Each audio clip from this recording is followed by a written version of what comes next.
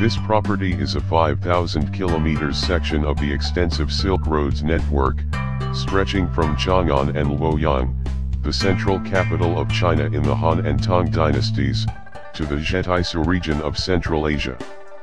It took shape between the 2nd century BC and 1st century AD, and remained in use until the 16th century, linking multiple civilizations and facilitating far-reaching exchanges of activities in trade, religious beliefs, scientific knowledge, technological innovation, cultural practices, and the arts.